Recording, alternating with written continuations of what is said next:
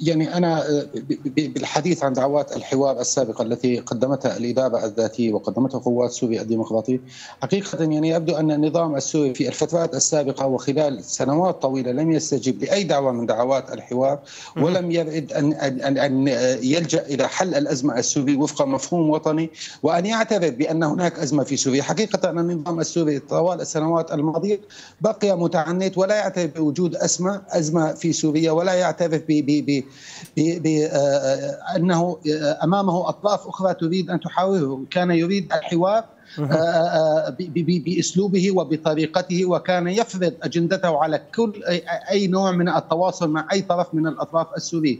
حقيقة النظام السوري فوت على سوريا فرصة حل الأزمة السورية بعيدا عن عن هذا عن ما يجري عن ما يجري اليوم. وما كانت وصلت الأحداث لو أنه قبل دعوات الحوار ما كانت وصلت الأحداث في سوريا إلى ما نشهده اليوم من من سيطرة هيئة تحرير الشام أو سيطرة المرتزقة التابعة لتركيا على على على مناطق واسعة من من من الأراضي السورية في في الشمال.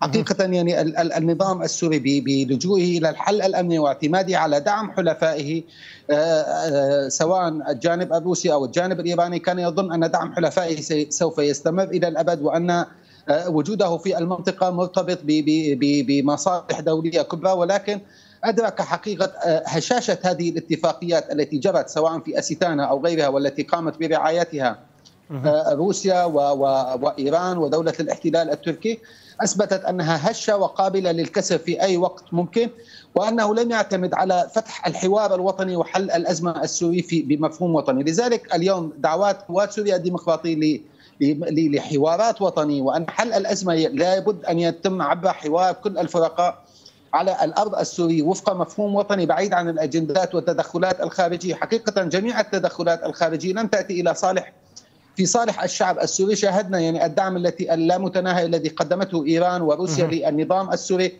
الدعم اللامتناهي الذي قدمته تركيا للمرتزقة والفصائل وتطبيق أجنداتها ومصالحها. واحتلالها لأجزاء واسعة من الأراضي السوري. حل الأزمة السورية لا بد أن يكون تحت السقف السوري ووفق الحوار السوري السوري ما بين الأطراف السوري وبعيدا عن المنصات والأجندات أيضا المرتبطة بتنظيمات إرهابية. لا بد أن تكون القوى التي تعمل إلى حل الأزمة السوريه أن يكون لها أن تكون قوى ذات طابع وطني بعيدا عن ارتباطات الإرهابية وبعيدا عن الأجندات الخارجية التي لا تخدم مصالح الشعب السوري. نعم سيد إيجاد يعني هل هناك احتمالية بعدم أو بألا تكون الحكومة السورية طرف بالحوار السياسي؟ هناك تقارير تفيد أو هناك حديث ومحللين ومراقبين لشان السوري يرجحون إسقاط نظام الحكم في دمشق. هل من الممكن أن تكون مرحلة الحوار السياسي سوف تأتي بعد مرحلة إسقاط نظام الحكم في دمشق؟ حقيقة يعني أثبتت المنظومة الأمنية رغم رغم قوتها ورغم صلابتها خلال الثلاثة عشر عام الماضية أنها في بالنهاية هي منظومة هشة وقابلة للكسر في أي وقت ممكن. اليوم هل هل لدى النظام هل بقي للنظام فرصة في بأن أن يعود وأن يكون جزء من من من مستقبل سوريا أم أن هذا هذا الأمر مرتبط بالأيام القليلة المقبلة؟ على على ما يبدو الانهيارات السريعة التي بدأت منذ منذ يوم البارحة منذ سقوط مدينة حماه من وانسحاب القوات الحكومية من مدينة حماه الأخبار وعمليات الانسحابات تتوالى من كافة المناطق ويبدو أن النظام بدا فقد فقد حقيقة السيطرة على قطاعاته العسكرية المنتشرة في كامل الجغرافيا السوري.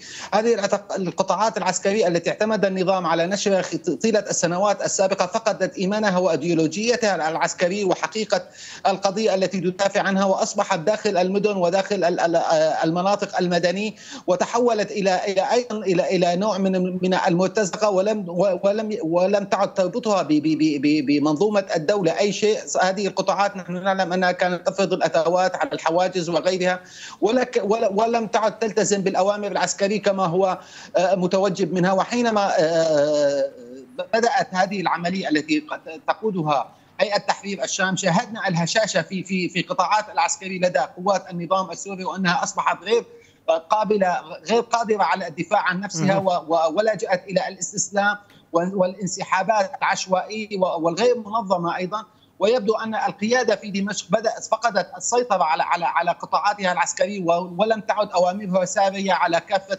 مؤسساتها العسكرية. نعم كنت معي من شمال شرق سوريا سيد إياد الخطيب رئيس مكتب الإعلام في حزب سوريا المستقبل. أشكرك جزيل الشكر على كل ما تفضلت به.